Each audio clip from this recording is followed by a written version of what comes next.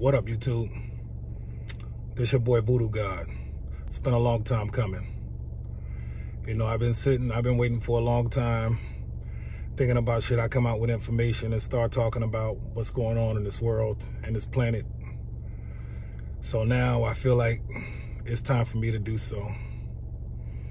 Today I'm just going to give you a little introduction on who I am, what I'm about. My name is James Smith on the Matrix. That's why I identify as. Family guy, father of three, married, restaurant manager. But that's not who I am in the cosmos. My name is Voodoo God. And I call myself Voodoo because I run with the spirits.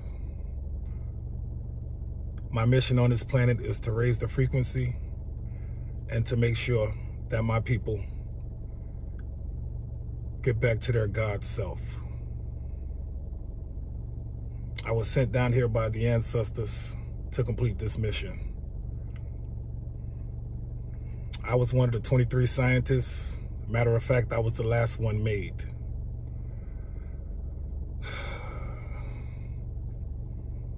This actually took me a while because I really didn't want to come out and start talking about different things and all of that, but the ancestors been heeding me that it's time for me to do so. So I'm definitely to do it now. And also got to say shout out to Rashad Jamal, the God, divine. He the one that definitely orchestrated this awakening, besides the ancestors, of course.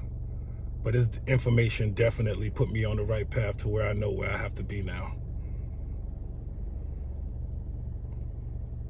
So I'm going to be talking about a lot of different topics different things that's on my mind just to get it off of my chest.